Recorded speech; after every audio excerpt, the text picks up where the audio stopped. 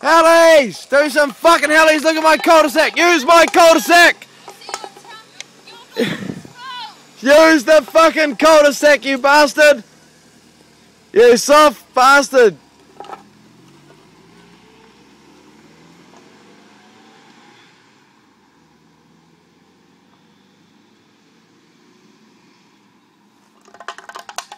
I feel gutted. That was so cold, Josh.